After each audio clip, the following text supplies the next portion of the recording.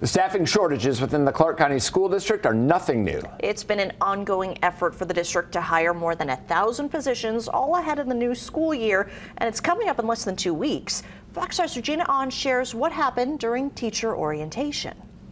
Chase Neeson is coming from Lincoln, Nebraska, a middle school teacher there. He says he reached out to Clark County School District recruiting team for a job after his partner got a job at UNLV. I'm super excited for my new position here in the district because I'm going to be teaching forensic science, so it's an elective. Uh, just being able to like build those relationships with students that are going to be excited about a class they're going to be taking, I'm really looking forward to.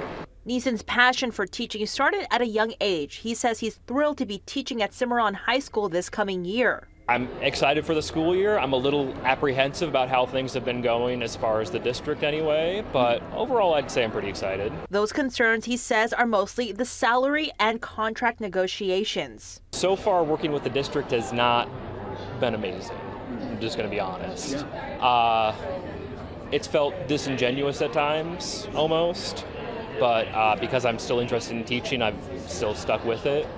But there have been times where I'm like, is this really worth it to kind of stick with it just because of how things have been being handled by the district and how they seem to be treating teachers. CCSD is efforting filling over 1,100 jobs across the district from teachers to counselors to nurses. This year, CCSD says they're happy to have 100 more teachers than the previous five years, with 2,170 teachers. For teachers like Neeson, he knows he's going to start building relationships. First thing is just kind of slow down and like not let it get to me too much, and then always just be willing to be willing to reach out for help. Like I'm really excited at the school I'm teaching of because it's made of mostly veteran teachers. Michelle our Deputy Chief of Human Resources, welcomed new teachers on Thursday for orientation. She told Fox 5 last week 150 teachers didn't want to take the job for salary reasons. She expressed wanting to fill at least 50% of the vacancies, so she's thrilled to see new faces at the orientation.